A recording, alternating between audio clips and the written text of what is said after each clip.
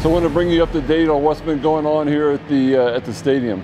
So uh, for starters, we had the uh, the steel topping out party which is uh, basically the end of steel. Also kind of big news is we brought the cauldron back. Um, you could probably see it pretty much all over the valley.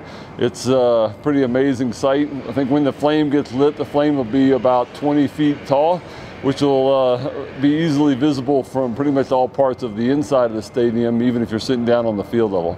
So just a phenomenal uh, couple weeks. Um, the other big thing that's going on, which is uh, going really right behind my my right shoulder here, is uh, is our bent plate seating is going in, and uh, that's kind of the last part of our, our steel package.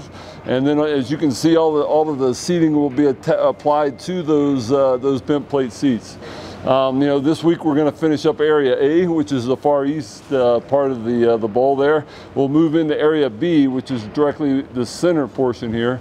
We'll finish that up next week and then move right on over into Area C, which is the final part. And that pretty well closes in the uh, the bowl of the uh, of the stadium, which is huge for uh, for us to be able to, to go with drywall and everything else to get it really cranking up on the uh, the suites level and everything else. It's taken off, and I guess final comment would be is go Utes.